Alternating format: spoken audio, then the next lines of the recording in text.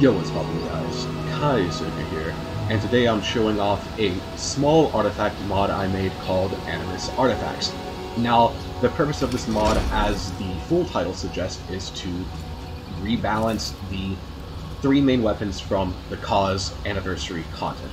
Those are Scourge, Torment, and the Staff of Ehlno Ede. Now, if you want the full information, please check out the mod page, that's where you can find everything but to keep things short and simple, I'm just going to give a brief rundown of the sweeping changes of these artifacts.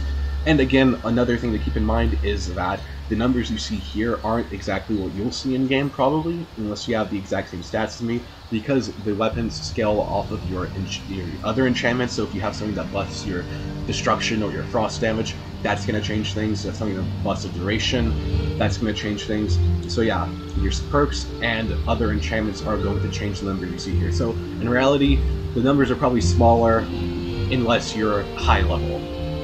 So let's just talk about Scourge. The main focus of this is to banish summon Daedra, which is something it is known to do in the lore.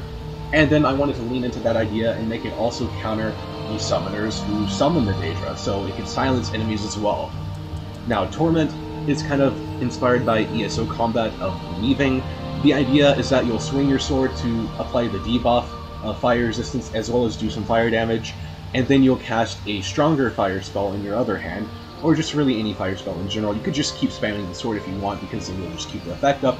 But if you want to be a spell mage, this allows you to use the sword of one hand and the spell in the other, specifically like a touch spell, which would do a lot of damage if you're using the Mysticism mod, which is what this is intended to do. It's the Simonrim suite of mods. So yeah, that's that's a good playstyle as well, but it just works for any Pyromancer in general.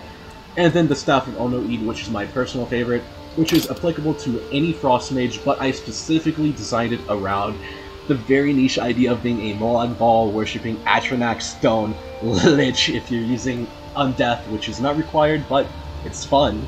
So yeah, it's inspired around the Mace of Molag Bal where you absorb health, magic, and stamina, although to a lesser extent. Again, the exact numbers are on the mod page.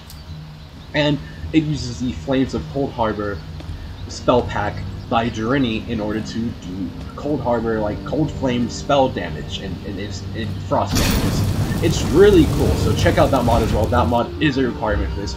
And it even works in Lich form, of course. So if you want the full Ayleid Lich experience, you could use the Ayleid Lich from Classical Lichdom, as well as the Staff. And you could do cold fire damage, as many Ayleids were the Molag Bal Worshipper, so very lore friendly. I know that's a term overused a lot, but yeah.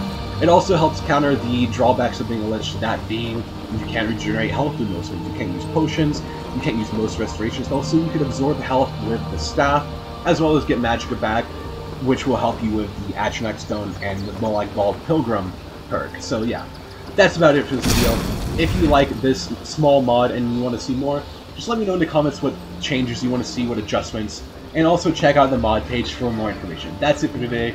Kaiser out. Peace and booyah.